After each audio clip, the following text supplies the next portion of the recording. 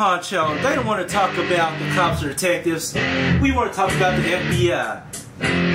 DJ Blaze, and we talking about FBI, full-blooded Italians. You got Nunzio in the middle, Johnny Stamboli on the left. You got Chuck Palumbo on the right side.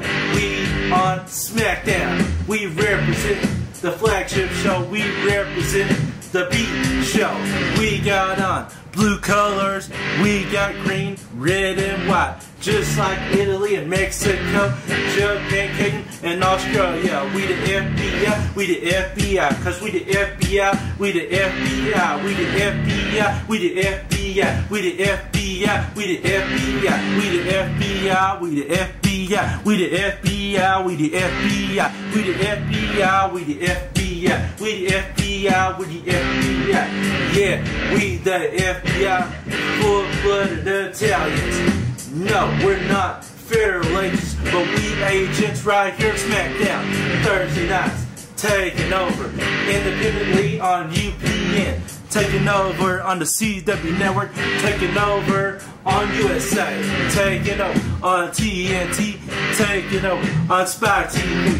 We go to VH1 and end up on BT, cause we the FBI, we the FBI, we the FBI, we the FBI, we the FBI, we the FBI, we the FBI, we the FBI, we the FBI, we the FBI, we the FBI, we the FBI, we the FBI, we the FBI, we the FBI, we the FBI. Yeah, that's right, we the FBI. My name is John Stamboli.